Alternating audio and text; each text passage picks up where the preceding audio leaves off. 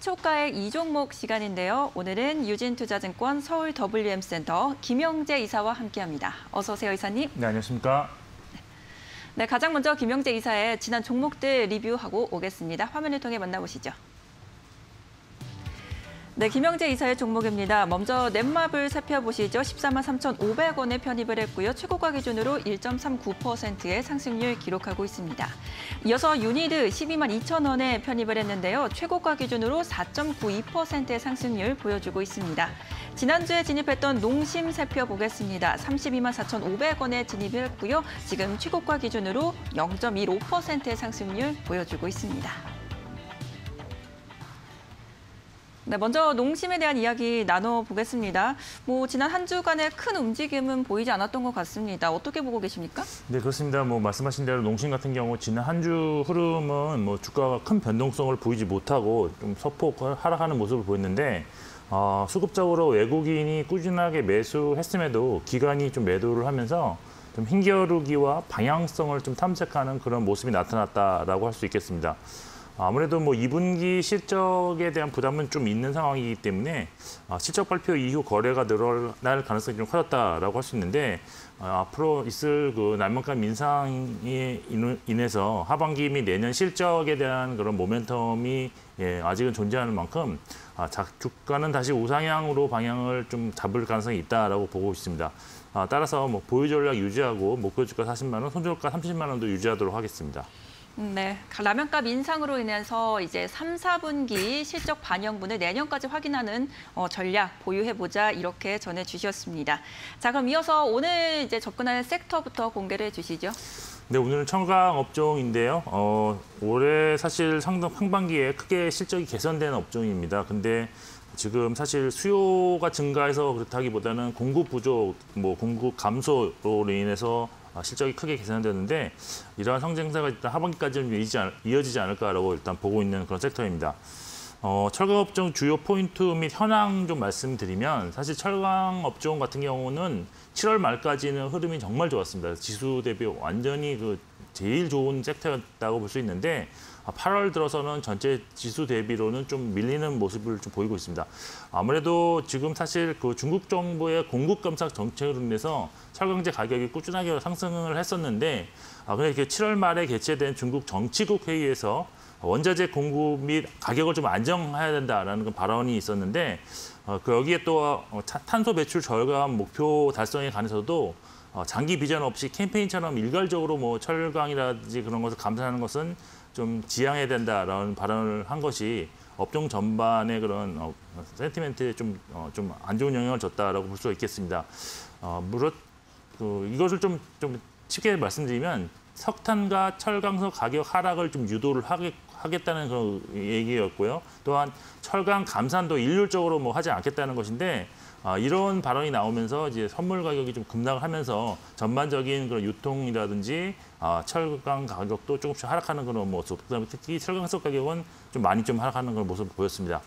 어, 그래서 사실 이런 정부의 발언 때문에 좋았던 분위기에 좀 찬물을 끼웠다라고 볼 수 있는데 아, 당시 그 업계에서는 상반기에 좋았던 그런 청결제 가격이 하반기에도 꾸준히 할 수 있다라는 어, 그런 기대감이 발생하고 있었습니다.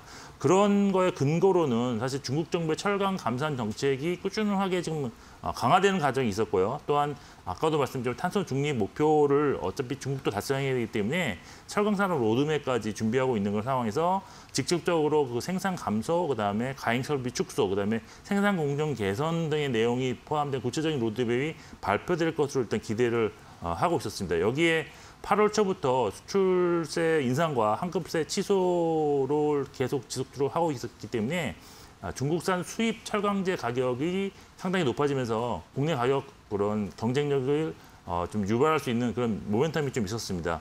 어, 그런데 지금 어, 정, 정부 중국 정부의 가격 안정 발언으로 철강 가격 상승에 대한 그 기대감이 약간은 좀 불확실성으로 바뀌면서 어, 좀 8월 철강 종목에 대한 그런 주가 흐름은 어, 좀 행보를 하고 있다. 물론 8월 초에 상당히 급락을 했기 때문에 지금 조정하는 구간을 보이고 있다고 볼 수 있습니다.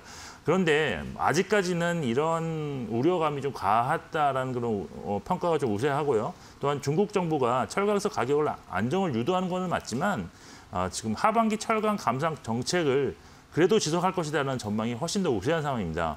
아, 여기에 그 델타 변이로 해서 지금 경기 위축감이 나타나면서 기대 인플레이션이 상당히 좀 둔화되는 면이 있는데 아, 코로나19 팬데믹 상황은 결국 백신 보급 증가 와 더불어서 종식될 수밖에 없는 그런 상황이기 때문에 그 위에 전방 산업인 건설이라든지 조선, 자동차 아, 이런 것에 대한 그 수요 증가에 따라서 철강제 수요는 꾸준하게 증가할 수 있다는 점에 아, 좀 투자 포인트를 맞추셔야 된다. 따라서 결론적으로 현재 시점이 철강업 투자에서는 좀 위기이자 기회일 수 있는데 기회가 될 수 있는 구간이라고 좀더 어, 판단할 수 있다라고 좀 보고 있습니다.